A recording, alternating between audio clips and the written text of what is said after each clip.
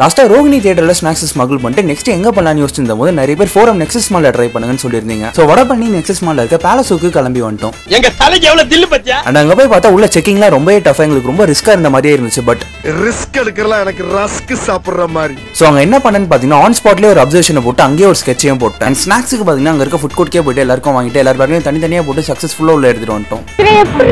எப்படின்னு பார்த்தீங்கன்னா அங்க செக்கிங்ல பேக்கோட மெயின் ஜிப்பை தான் செக் பண்றாங்க. ஸோ சின்ன ஜிப்ல அள்ளி போட்டு உள்ள எடுத்துட்டு போயிட்டோம். அண்ட் ட்ரிங்க்ஸுக்குள்ள ஒருத்தனுக்கு வாங்கணும்னாலே டூ ஹண்ட்ரட் மேலே இருக்கும் பட் நாங்கள் two and half litres bottle seven ஊற்றி உள்ள எடுத்துட்டு போயிட்டோம். தென் இன்டர்வல்ல வெளியே போய் பார்த்தா நிறைய பேர் தேட்டருக்குலாம் காசு கொடுத்து ஸ்நாக்ஸ் வாங்கியிருந்தாங்க. இதுக்கு தான் மெட்ராஸ் கைஸ் வீடியோ பார்க்கணும்னு சொல்றது.